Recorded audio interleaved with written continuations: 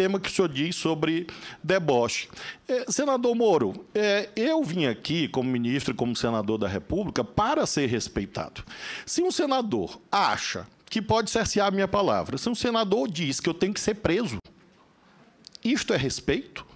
Pense bem, pense com a sua consciência. Se isso aconteceu com o senhor, de alguém interpelar o senhor dizer: eu sou uma pessoa honesta, eu sou ficha limpa, eu, eu fui juiz, nunca fiz conluio com o Ministério Público, eu nunca tive sentença anulada. E por ser um juiz honesto, por ter sido um juiz honesto, por ter sido um governador honesto, é que eu não admito que ninguém venha dizer que eu tenho que ser preso. Isso é desrespeito. Quem tem honra age assim. E, portanto, eu repilo veementemente qualquer ofensa à minha honra. E ninguém vai me impedir de defender a minha honra. Porque tem, quem tem honra defende. E é essa é a minha veemência, essa é a minha incisividade, essa é a contundência dos justos.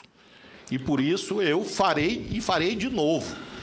Todo debate parlamentar que for sério, conte comigo debate parlamentar que desbordar do decoro parlamentar vai ter a resposta devida.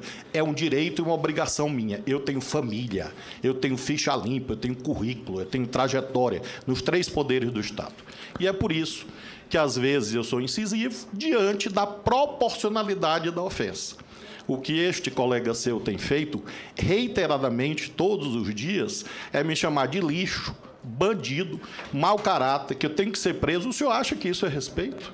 E essa é a razão da minha resposta